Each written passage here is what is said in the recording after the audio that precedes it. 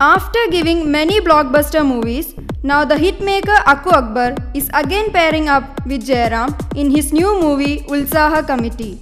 The movie is produced by Arun Ghosh and Biju Chandran under Chandhu Creations. The story is about three friends Apurvan, Chopra and Babu Mon, done by Jayaram, Babu Raj and Kalabhavan Shajon.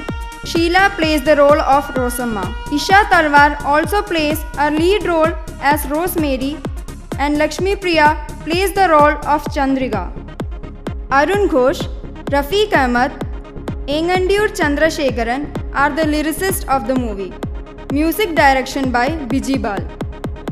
Cinematography is done by Anil Nair and Lijo Paul has done the editing.